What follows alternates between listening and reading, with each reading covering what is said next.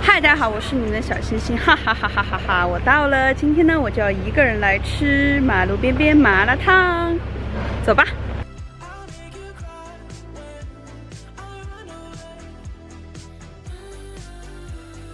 他家还有新品呢，待会儿我要点哪个呢？我想想，年糕椰子，嗯。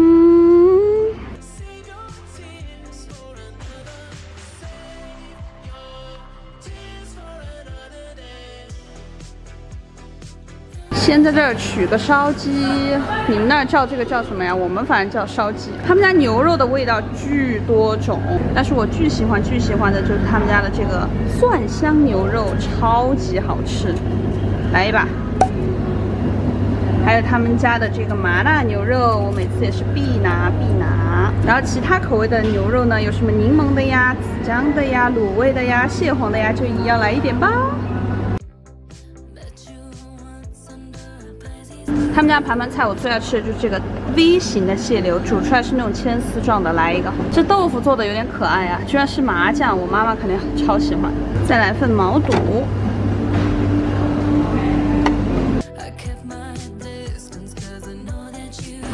扫码点餐，哦，给大家看有这些好吃的。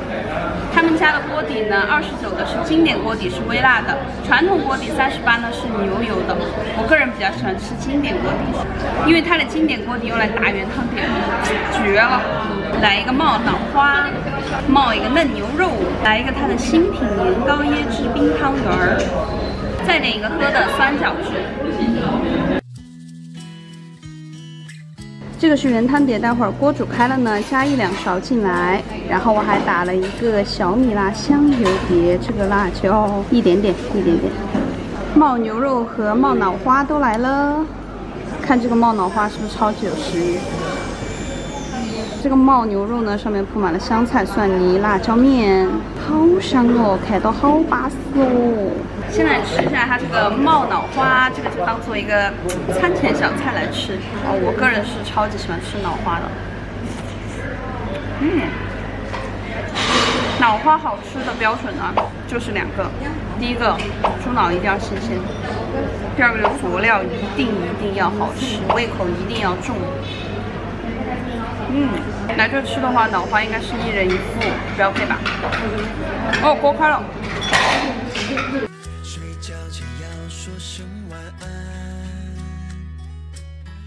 荤菜丢进去，然后这个腰片呢，它涮时间比较短，就时刻注意这一把腰片。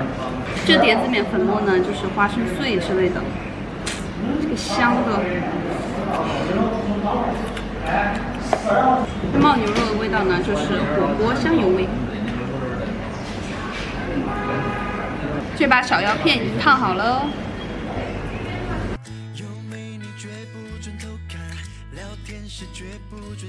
给它拌一拌，让每一片儿都吸收这个调料。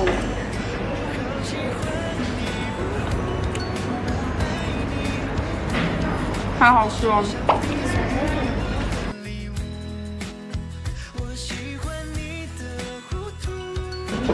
煮两个蟹柳下去，把牛肉串串都分一分开，因为它们粘在一起呢，不方便熟。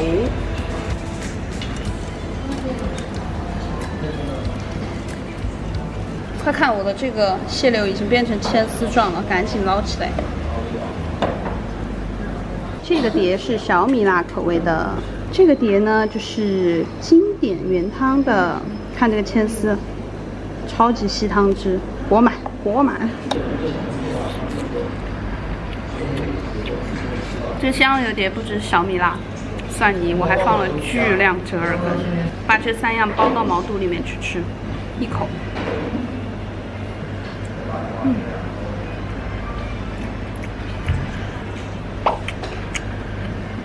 哦，是真的辣。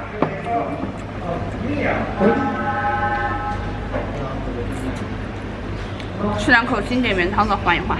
有没有和我一样特别喜欢吃这个？千丝蟹柳的，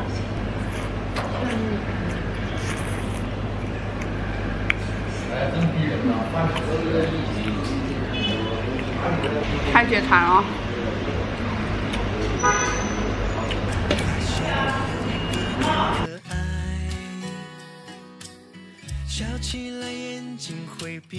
莴笋不能浪费。嗯，我会拿一点这种脆脆的小鱼干，好脆。我觉得一个人在外面下馆子呢，一点都不孤独。关键看你怎么想。自己吃饭呢，就能想吃什么拿什么，想点什么就点什么。那有时候还挺治愈的。说起治愈啊，我最近在 B 站上面追一部番，叫《李林克的小馆儿》。不知道大家有没有追？截至目前啊，它已经出了四集了。一开始呢，我以为是一部美食治愈舒缓的番，然后就点进去看了，就发现也不能说完全不一样吧。它里面讨论的内容呢，比你想象的更多。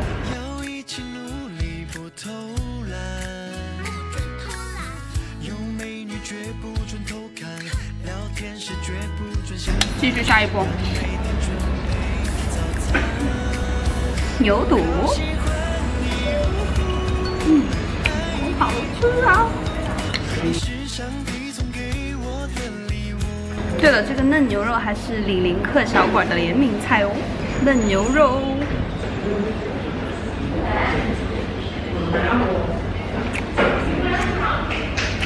我又追加了小菌干和广味香肠，煮进去，我的牛肉全部都好了。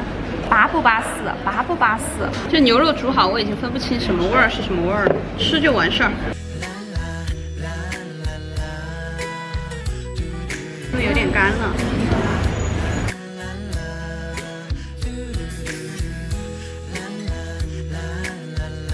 大家看过李林克的小馆吗？我最喜欢的是两个字，就是肉丝。串串香这种形式呢，就很适合一个人、两个人、三个人。一顿串串香的功夫可以吃好多种菜。年糕椰子冰来了，看它下面是这种有点像绵绵冰的感觉，融融的。吃冰了，吃冰了。这个年头，这种串串火锅店要是没点什么拿得出手的甜品哈，不要再蹭都混。上面是紫米。啊，年糕好有嚼劲啊！它这个冰的分量呢是蛮小碗的，里面都是这种绵绵的冰，没有什么宝藏那馅儿了，该有的都在面儿上。嗯，好脆呀，好脆呀！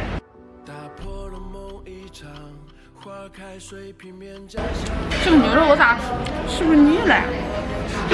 好香哦！在我们四川嘛，我们家家户户从小小孩也会吃火锅，但我小时候就不喜欢吃毛肚。因为我们小时候能点到的毛肚都什么绿色毛肚呀、发毛肚，不管是烫的时间短还是烫的时间长都咬不动。我小时候就只喜欢吃千层肚，但长大之后吃到这种处理过的毛肚，比较好掌握时间的呢，我就更喜欢吃毛肚。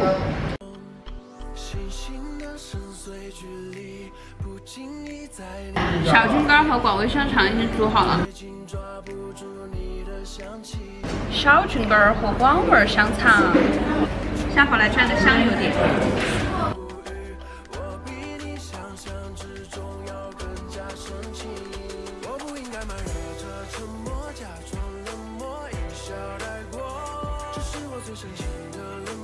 吃饱了，现在我只想找个地方瘫着。好了，今天一个人的串串到这就结束了。希望各位单身独居的小伙伴们在外就餐的时候呢，不要感到拘束，也不要不好意思。身体是自己的，一个人要吃饱吃好。我是你们下期见，那我们下个视频再见吧，拜拜。